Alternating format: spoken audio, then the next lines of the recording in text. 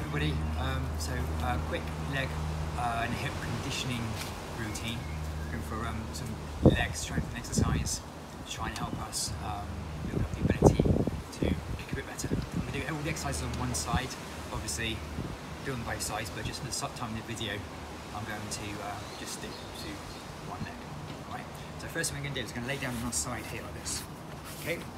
And when you're laying down on your side, I want you to make sure that when you do these exercises, you keep your hip here on the top. You don't let it roll backwards here like this or roll forwards here like this, okay? If anything, forwards better than backwards. As soon as you go backwards, we end up cheating and not using the right muscle groups, okay? So we're gonna lay on a side here like this. First thing I want you to do is you're gonna hold the opposite leg up in the air, just like this, okay?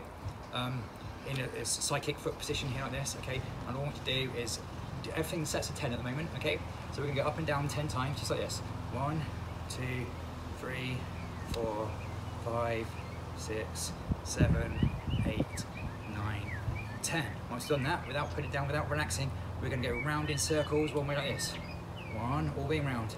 Two, so we're trying to get behind the line of our leg as well.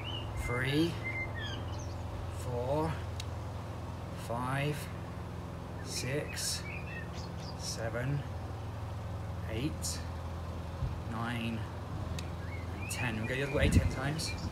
One, two. If you feel you need to shake your leg in between, that's fine. Five, six, seven, eight, nine, ten. We're going to pull the leg back into a chamber position here like this. So back here like this, okay, and then out. Do that slowly, 10 times. One, two, three. If you're feeling it burn already, that's fine.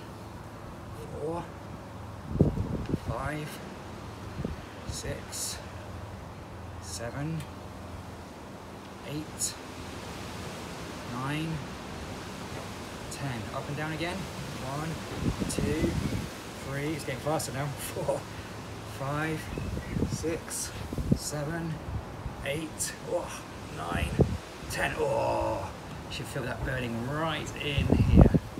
Okay, so some muscles work at the moment. Okay, give it a bit of shake. We haven't finished yet. Okay, give it a shake, give it a shake. Right, so what we're to do now is um, I'm going to, this makes it a little bit easier actually. We're to do a turning kick practice, okay? So you're just going to hold your leg up here like this now, okay? And we're going to hold the leg, knee pointing straight. Don't let your knee come in front of you here like this. Knee pointing straight forwards, okay? What we do is 10 turning kicks like this.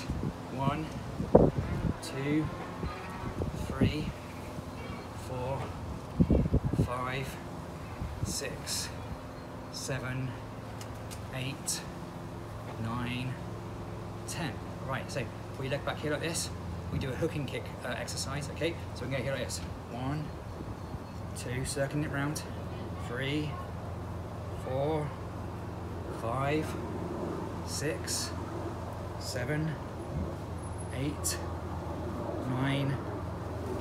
But give it a shake. Do it nice and slowly, okay? The more um, burn you feel, the more tired it gets, you probably tend to speed up a little bit, okay? I'm feeling that already. Okay, that's quite sore already, okay? Okay, so what we're going to do next is we're going to go onto all fours, hands and knees, okay? You like this.